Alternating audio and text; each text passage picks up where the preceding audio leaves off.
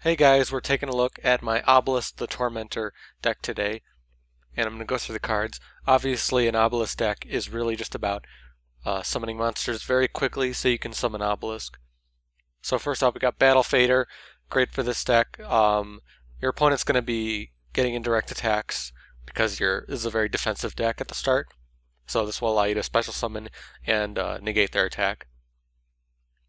Uh, Shadow Monarch it's nice to have some good single tributes in case you can't get out Obelisk. So this is one of them. Um, Dupe Frog, you're going to see a lot of frogs in this deck because it drives the special summon power of this deck. Um, Dupe Frog's really good, 2000 defense, and you can get another frog monster. Gorz is very nice because, again, if your opponent gets in direct damage, you'll be able to summon him.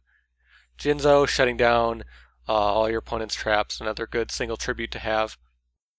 Uh, it's really nice for to, for you to shut down their traps so they don't destroy your monsters. Light and Darkness Dragon, again, if you can't get out three tributes, you can use this guy with only two, and it'll shut down your opponent from doing anything while you get out more monsters. An Obelisk, obviously extremely powerful once you get him out. Um, pretty much anti anything that will destroy him. He's almost invincible. Poison Draw Frog uh, doesn't look that good, but once you pair it up with Sea Lancer over here, it can be quite useful. Uh, again, frogs are the main power of this deck. Uh, Storm Monarch, again, uh, nice effect and also a single tribute that you can use. Ronintoadin, uh, one of the true powers behind the special summon in this deck. Um, his effect allows you to special summon frogs. Sea Lancer, uh, very nice effect because you'll be banishing these frogs and once you equip them to Sea Lancer, he'll be powerful, and then when they get destroyed, you'll be able to draw more cards. It's just a process that allows you to keep getting monsters and cards. Swap Frog, also very powerful for this deck because you could easily special summon this guy in your in this deck.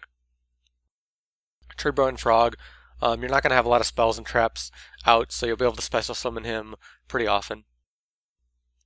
And then uh, the magic cards are really all based on um, you know, allowing you to summon obelisk and allowing you to do stuff with your frogs. So creature swap, allowing you to give your opponent your weak monsters and uh, having an attack force for a little bit. Uh, Dark Hole staple. My body as a shield. Obviously, you want to keep your monsters as often as possible, so paying 1500 life points isn't that bad if you are going to be able to summon obelisk. Soul exchange. Obviously, very important in this deck. Attacking right away is not what's most important. What's most important is getting obelisk out. So soul exchange, very good. Salvage, obviously, with all these frogs, you'll want to keep getting them back. And then Dark Bribe and Call the Haunted. Just a couple stable traps. Again, not focused much on traps in this deck. Uh, as far as the extra deck goes, uh, really you're just going to want some 2-star XYZs and some maybe 6-star XYZs. 6 stars you won't get out very often. The 2 stars uh, is really like an alternative strategy that you can use with all these frogs that you have out if you're not able to summon as much as you need to. But uh, that's my Obelisk deck. If you ever own Obelisk deck, I'd love to see what cards you use, uh, how you get them out, how you you know bring out monsters, what cards you use, and that. Um, if you want to see more from me, you can subscribe or hit the like button. You can also follow me on Twitter, um, and you'll get updated when I upload a new video. But that's about it. I'll see you guys later. Bye.